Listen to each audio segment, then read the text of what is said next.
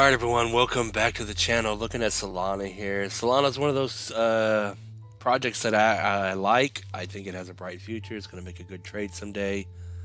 Uh, but we are looking at the four hour chart here. You can see that it's making higher highs and higher lows. If you go to the daily chart, it did break out of its, its massive downtrend. So that's a good sign. Uh, so we'll just have to wait and see what happens with Solana. Of course, 14k or below Bitcoin would probably drag a lot of these coins down. Uh, but yeah, until then, you know, let's just look at where it is now.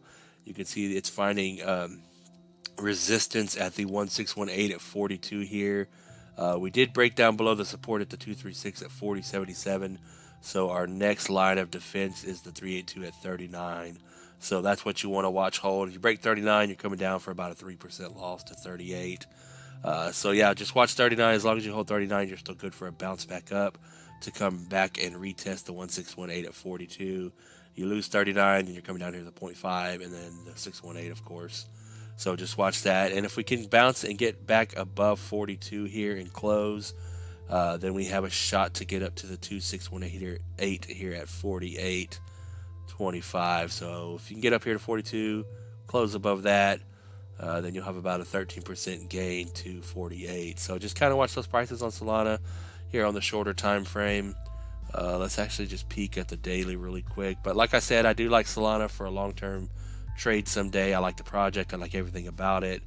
Um, but yeah, you could see without even drawing a line, you can see that we broke out of the downtrend here. Uh, and then on the larger time frame, you can see we need to get up here to the 236 at 53 for momentum uh, back up to the upside up here to the 382 at 70. But what I really wanted to look at was the Heikin Ashi, see if there's any bullish momentum going on. Uh, there's some green candles printing, so it is bullish at the moment on, on the daily here. But they're not very big, so you know, it, depends on how far you zoom in. But like I've mentioned in previous videos, if you don't know how to read the Heikin Ashi candles, uh, when to get in and when to get out. Uh, you need to go watch videos on it and educate yourself. Uh, because I'm not the person to show you how to do that. I know how to do it, but I, I can't explain it. Uh, you'd have to go watch an in-depth video on how to read the Heikin Ashi.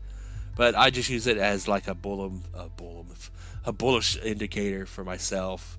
Uh, I see a bunch of green candles spawning in, and until I see a red one spawn in, uh, I'm still bullish on the on the the, the price movement. So switching back over here to the four hour, that kind of tells me that there's still bullish momentum. You can actually look at them on the uh, on the uh, four hour here, but it's it's not as accurate.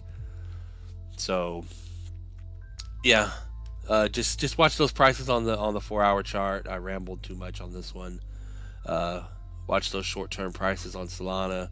Uh, 39 here to 382 to hold for support, and you break 42, then you're going to have that 13% gain up to the 2618 at 48 and then of course the 3618 at 53 which was actually the daily charts 236 uh, for a longer term momentum upward.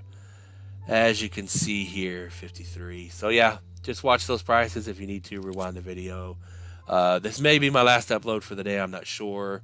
I got to go out and do some gardening work and work on my chicken coop. Uh, you know you got to always be resilient and know know what you're doing and have a game plan because you never know what this world's going to throw at you. So it's always nice to have fresh uh, vegetables and fresh eggs. So not life advice, not financial advice. You got to do what's best for you, but be resilient and always know what's going on in the world and always have an exit plan and always know when you're going to get in. Of course, not financial advice. Thanks for watching, everyone. I appreciate it. Peace out.